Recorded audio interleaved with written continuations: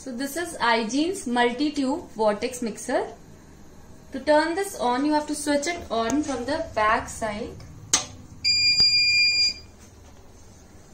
So this is the display. It displays the speed as well as the time. So to set the speed, you have to use these two arrow keys for increasing and decreasing the speed. So it has a speed ranging from 500 to 2500 rpm.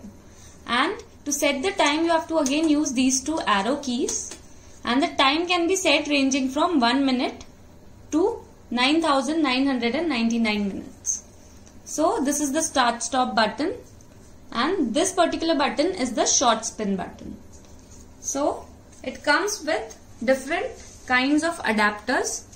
So this is a 15 tube 15 ml tube adapter and this particular adapter is a 2 or 1.5 ml tubes adapter.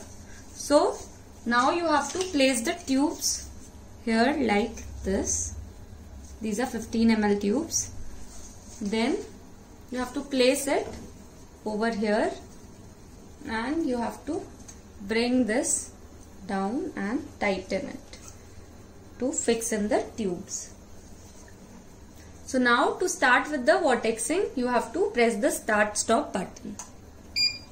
So it starts to vortex.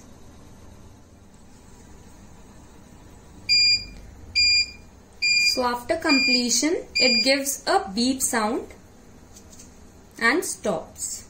So if you want to give the tubes the short spin, then you have to use this short button and you have to press and hold this button.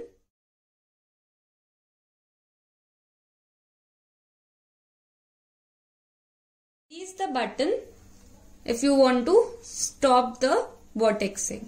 So this is how iGene's multi-tube vortex mixer works.